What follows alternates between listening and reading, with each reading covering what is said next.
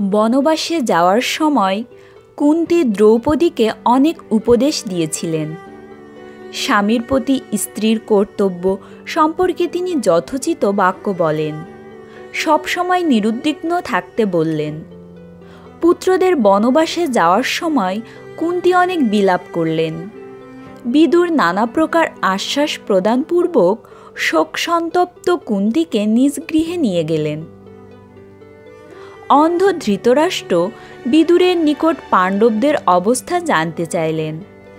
তিনি বিদুরকে জিজ্ঞেস করলেন, হে দীর্ঘদর্শী বিদুর, যুধিষ্ঠির, ভীম, অর্জুন, নকুল, সহদেব ধম্ম এবং দ্রৌপদী কি প্রকারে বনে গমন করছে বলো? তিনি তাদের গমনোদ্যত অবস্থা বিস্তারিত জানতে চাইলেন।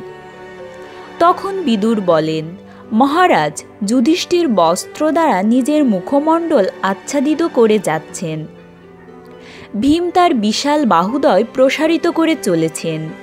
অর্জুন বালি উড়িয়ে যাচ্ছেন। নকুল আকুল হৃদয়ে ধূলিধূসরিত কলরবে জ্যেষ্ঠদের অনুগমন করছেন এবং সহদেব আনতবদনে যাত্রা করছেন। দ্রৌপদী আলুলায়িত কেশপাশে মুখমণ্ডল অবগুণ্ঠিত করে কান্না করতে করতে রাজার অনুগমন করছেন। পুরোহিত ধম্ম, বৈদিক মন্ত্র গাইতে গাইতে পাণ্ডবদের সহগামী হয়েছেন। বিদুরের কাছে এরূপ বর্ণনা শ্রবণ করে ধৃতরাষ্ট্র পুনরায় জিজ্ঞেস করলেন, হে বিদুর, পাণ্ডবগণ বিভিন্ন রূপ ধারণ করে বনে গমন করছেন, এর কারণ কি? উত্তরে বিদুর বললেন, হে রাজন, আপনার পুত্রগণ কর্তৃক যুধিষ্ঠির হৃতরাজ্য ও হৃত সর্বস্ব হয়েছেন। কিন্তু তিনি ধর্ম থেকে বিচলিত হননি।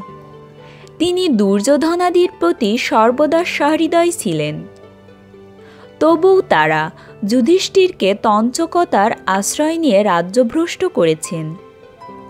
তার ক্রোধান্বিত দৃষ্টিপাতে আপনার কোনো পুত্রের যেন ক্ষতি না হয়, সেজন্য তিনি চক্ষুদয় নির্মিলিত করে চলেছেন এবং মুখমণ্ডল আবৃত করে চলেছেন।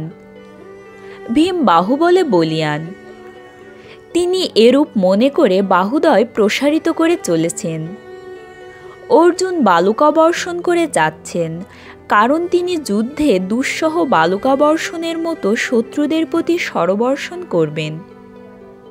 পরম সুন্দর নকুল, নিজের অপরূপ সৌন্দর্যের প্রতি যেন কোনো মহিলা আকৃষ্ট হয়ে না পড়েন, সেজন্য সর্বাঙ্গ পাংশুলিপ্ত করেছেন।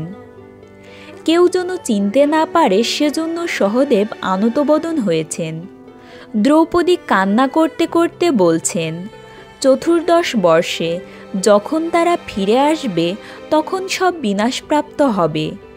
তখন স্ত্রীগণ অতি অসহায় হয়ে হস্তিনাপুরে প্রবেশ করবেন। ভরতকুল নিহত হলে কুরুকুলের গুরুগণ সামগান করবেন বলে মনে করে পুরোহিত ধম্ম সাম ও জাম্যগান করতে করতে আগে গমন করছেন। এভাবেই পাণ্ডবেরা আকার ও ইঙ্গিত দ্বারা তাদের মনোগত অভিপ্রায় প্রকাশ করতে করতে বনে গমন করে চলেছেন।